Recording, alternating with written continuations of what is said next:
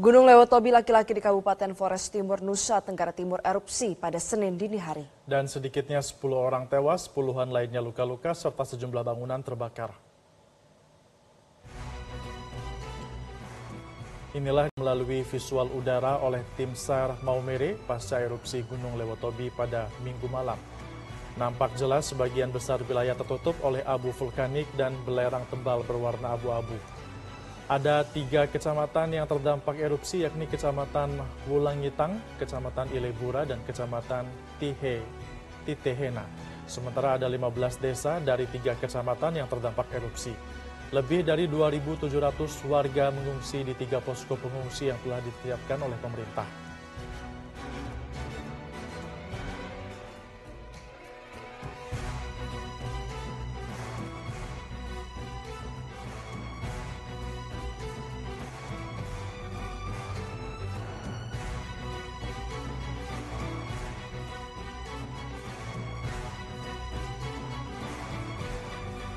Jelajahi cara baru mendapatkan informasi. Download Metro TV Extend sekarang.